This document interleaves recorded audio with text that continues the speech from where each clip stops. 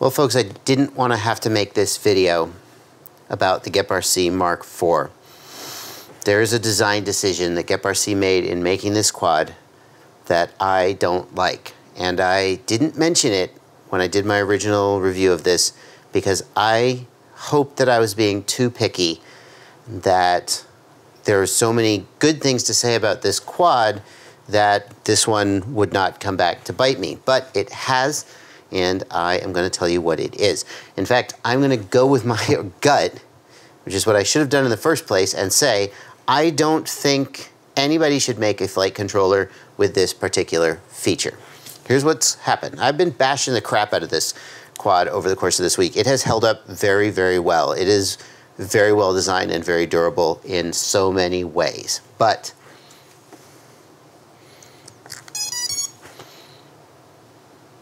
yeah, the flight controller is not powering up, is it?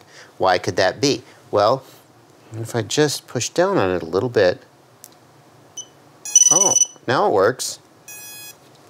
Oh, fantastic. The problem is that if you look right here, there is a pin header that is connecting the flight controller to the ESC. And in my opinion, this is never, never a good idea because what happens, I'm gonna unplug the battery so I don't make a fire, but what happens is, especially if you've done as GEPRC did and soft mounted the entire stack, look how much play there is in the stack.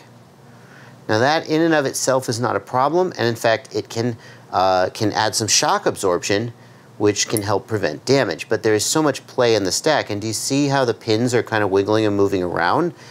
And even if the stack is hard mounted, in my experience, that ends up getting damaged and getting a bad connection. Now when this happened to me, I thought, well, I'll just tighten down these screws, I'll squeeze them together extra good and everything will be fine. But it didn't, it just didn't work. I was just flying and in the middle of a flight, the whole quadcopter just fell out of the air and lost power.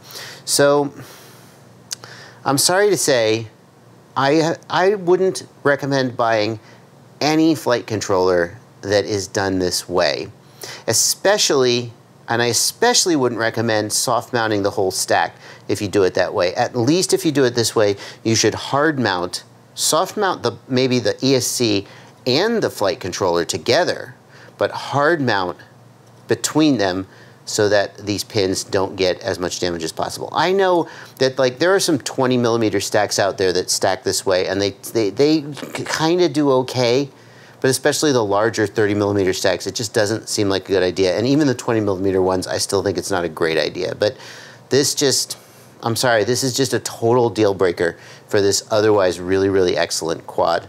Um, yeah.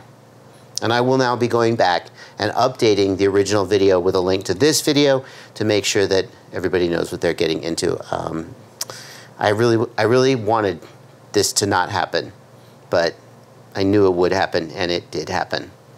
So there you go.